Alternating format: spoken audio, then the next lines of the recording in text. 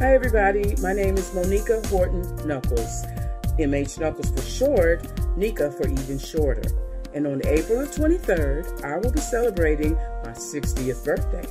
So, in honor of that, I'm asking all my friends, colleagues, family to please donate whatever you can $10, $20 to a nonprofit organization in Liberia called KEEP, K E E P, Kids Educational Engagement Project that has been since the Ebola crisis of 2014, striving to make sure that children in crisis are still engaged in educational activities, reading, learning.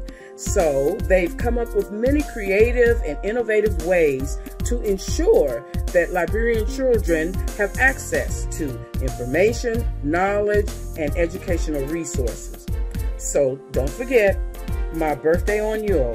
Please donate to this organization that is seeking to ensure the future of Liberia. Thank you.